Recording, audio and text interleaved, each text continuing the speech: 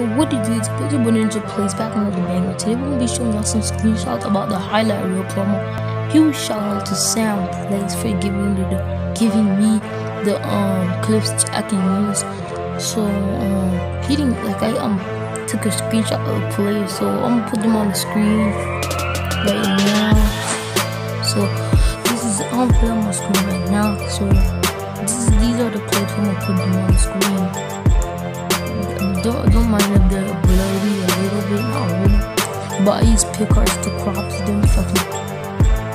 But I hope you enjoyed the, um clips. That's all I have for today. Make sure you like, subscribe, turn on post notifications, stick it notified wherever I drop my banger.